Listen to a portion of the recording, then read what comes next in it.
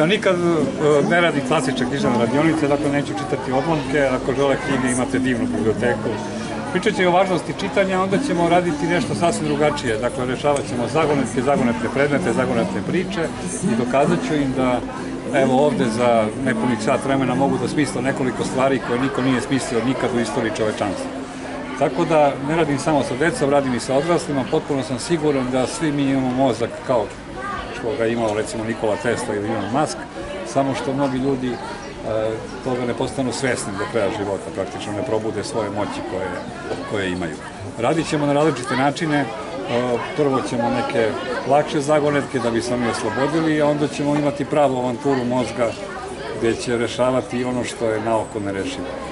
Inače, ja imam puno i romana, imam 22 knjige, knjige sam izašle u Italiji, Grčkoj, Mađarskoj, Češkoj, Sloveniji, Rumuniji i drugim zemljama, ali mogu odgovorno da tvrdim da je pisanje dobre zagonetke najteža književna forma, jer ti moraš praktično u dva reda ili dva stiha da smestiš nešto što je rešivo, što ima samo jedno rešenje, što nije prelako, a da se na kraju sve poklopi. Tako pisao sam i romane, pisao sam različite forme, ali mislim da je umetnost smišljanja dobre zagonetke naj, stvari zahtevnije. Ja sam to stavio čak na koricu ove druge knjige bajki. Siguran sam da može da se odrasti bez bajke, ali nisam siguran u šta. Tako da, važno čitanja bajki je svakome ko i ole malo razmisli potpuno jasna. Mogu da nabrojim preko 30 koristi od čitanja bajki, ali za to nemamo vremena. Rekao bih da je inicijalna kapisla za te knjige bajki bila izjava Alberta Einsteina koju sam video na internetu, što znači da nisam siguran ni da je on to rekao, na internetu ima svašta, ali rekao je ako, ako hoćete da vam dete bude inteligentno, čitajte mu bajke, ako hoćete da bude inteligentnije, čitajte mu još bajke.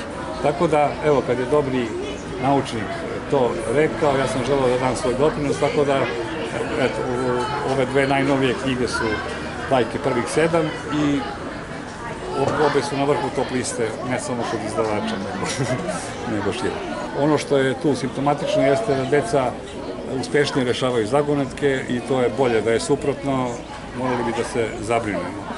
Vremena su zahtevna, izazovna i mislim da je najmanje što možemo da uradimo za našu decu da im damo da čitaju. Ne govorim zbog mojih knjiga, neka čitaju Rušoma, neka čitaju druge dobre knjige.